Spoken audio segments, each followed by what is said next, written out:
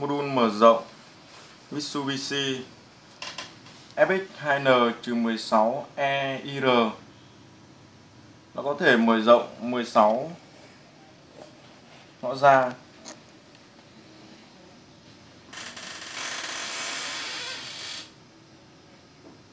FX2N-16EIR phù hợp với PLC Mitsu dòng FX3U, FX3G và FX1N